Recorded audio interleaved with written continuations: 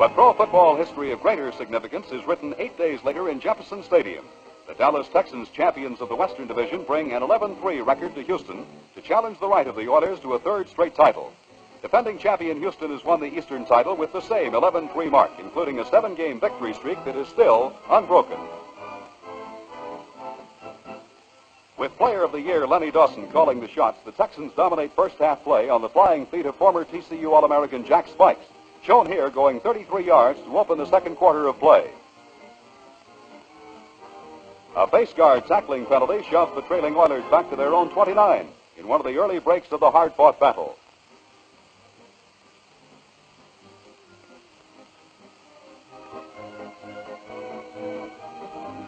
Nourishing a 3-0 lead, Dawson takes his time on second down after a run fails. Now the former Purdue great flips to Abner Haynes, and little Abner casually strolls in for his 20th touchdown of the year.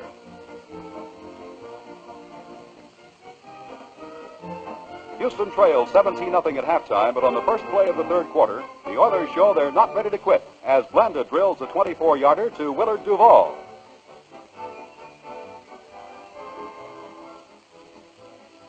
From the triple wing, Tolar goes inside for 12 important yards, leaving a string of Texans in his wake.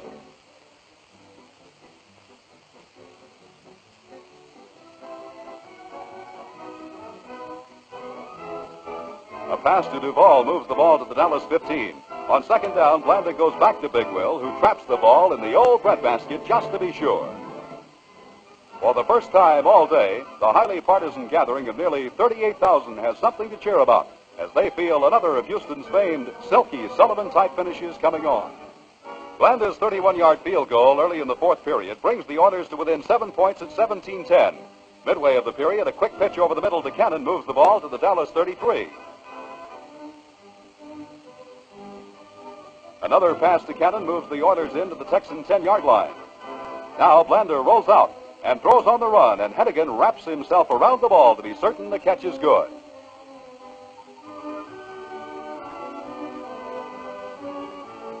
Just minutes remain as Blanda brings him out of the huddle to face a do-or-die situation.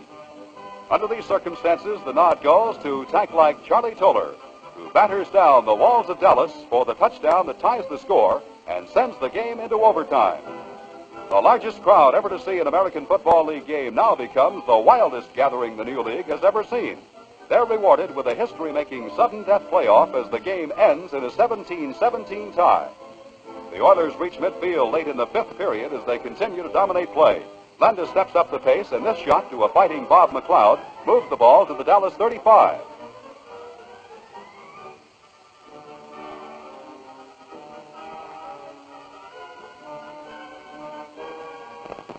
Two plays later, Blanda attempts to move in closer for a sure shot at the field goal.